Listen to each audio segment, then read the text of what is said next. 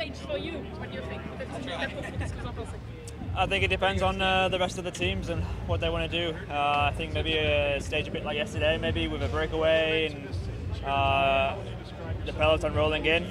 But also it could go the other way, and then we go for the stage. Uh, we really don't know.